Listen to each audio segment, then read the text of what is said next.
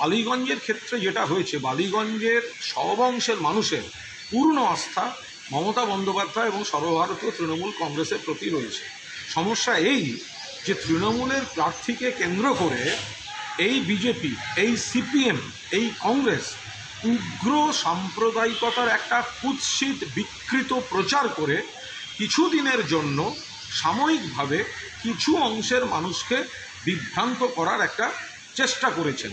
কিছু অংশের মানুষ, তারা কিন্তু পুরোদস্তু তৃণমূল কংগ্রেসের সমর্থক। মমতা বন্দ্যোপাধ্যায়ের প্রতি পূর্ণ আস্থা।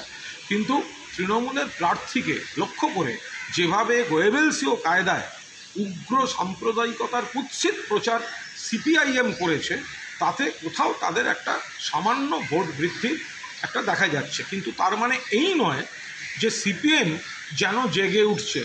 ভাগ্য ভালো, দু একটা ওয়ার্ডে এখন না শপথ নিতে চলে যায় কাউন্সিলর হিসাবে। এখন পরের ভোটেই দেখা যাবে। সিপিএম যেখানে ছিল, সেই তলানিতেই আছে। বিধানসভায় শূন্য, আসানসোলে ভরাডুবি।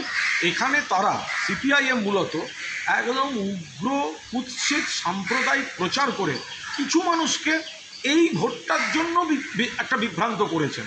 তারা সুস্থ চেতনা সম্পন্ন মমতা বন্দ্যোপাধ্যায়ের সঙ্গে আছেন, তৃণমূল কংগ্রেসের সঙ্গে আছেন, ফলে কোথায়, তারা কীভাবে কি করেছেন, আমাদের পার্টির শীর্ষ নেতৃত্ব নিশ্চয়ই খতিয়ে দেখছে।